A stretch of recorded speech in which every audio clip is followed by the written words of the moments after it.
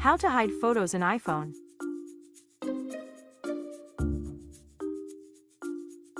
First of all, go to Photos, and choose that photo which you want to hide. After that click on Share button.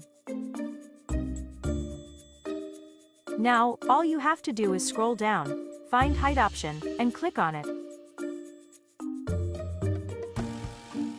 Again, click on Hide Photo. Now, go to Albums. Scroll down and click on Hidden.